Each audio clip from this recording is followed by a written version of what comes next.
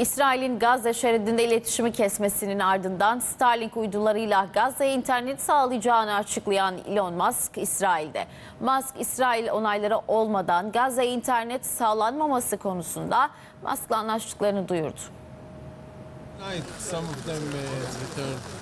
Yanında İsrail Başbakanı Benjamin Netanyahu üzerinde çelik yelekle 7 Ekim'de Hamas'ın saldırdığı evi böyle dolaştı Elon Musk. Milyarder girişimci Elon Musk İsrail'de Gazze şeridinin kuzeydoğusunda saldırıya uğrayan bir evi gezen Elon Musk'a İsrail Başbakanı Netanyahu ve yerel yöneticiler eşlik etti. Musk İsrail yetkililerden bilgiler aldı.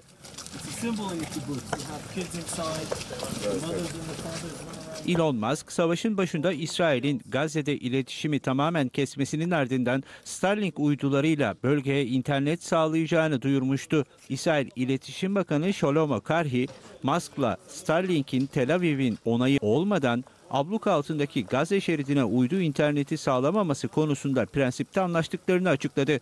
Elon Musk ise henüz konuya ilişkin açıklama yapmadı. Dünyanın en zengin kişileri arasında yer alan Musk, sahibi olduğu sosyal medya platformu X'te Yahudi düşmanlığına izin verdiği eleştirilerine uğramıştı. Ziyareti de bu eleştiriler nedeniyle yaptığı belirtiliyor.